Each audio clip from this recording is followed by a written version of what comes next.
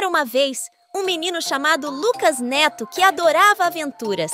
Ele morava em uma cidade perto do mar e sempre sonhava em explorar as profundezas do oceano. Um dia, Lucas estava brincando na praia quando viu algo se mover na água. Ele se aproximou para ver o que era e viu uma foca marinha nadando perto da costa. Lucas ficou encantado com a foca. Ele nunca tinha visto um animal tão bonito antes. A foca olhou para Lucas e sorriu. Então, ela começou a nadar em sua direção. Se você quiser pintar todos os desenhos do Lucas Neto, clique no link da descrição do vídeo e seja direcionado à página onde eu compro meus desenhos para pintar. Lucas ficou nervoso no começo, mas a foca era muito amigável. Ela nadava ao redor de Lucas, brincando com ele. Lucas riu e se divertiu muito. Depois de um tempo, a foca começou a se despedir de Lucas. Ela nadou para longe e mergulhou no oceano. Lucas ficou triste em ver a foca ir embora, mas ele sabia que nunca a esqueceria. Lucas continuou a brincar na praia, mas ele não conseguia parar de pensar na foca. Ele queria vê-la de novo. No dia seguinte, Lucas voltou à praia. Ele esperou e esperou, mas a foca não apareceu. Lucas estava desapontado, mas ele não desistiu. Ele continuou a visitar a praia todos os dias esperando ver a foca novamente. Um dia, depois de esperar muito tempo, Lucas finalmente viu a foca novamente. Ela nadava perto da costa, como da última vez. Lucas ficou tão feliz que começou a correr na direção dela.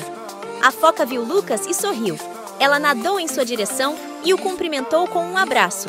Lucas estava tão feliz que não conseguia acreditar. Ele havia encontrado seu novo amigo. Lucas e a foca passaram a maior parte do tempo juntos. Eles nadavam no oceano, brincavam na praia e conversavam sobre tudo. Lucas aprendeu muito sobre a foca e sobre o oceano. Um dia, Lucas e a foca estavam brincando na praia quando viram um grupo de crianças jogando lixo no oceano. Lucas ficou com raiva. Ele sabia que o lixo estava prejudicando o oceano e os animais que viviam nele.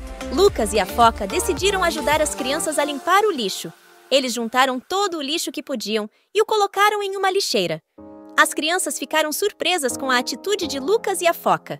Elas pediram desculpas por jogar o lixo no oceano e prometeram não fazer mais isso.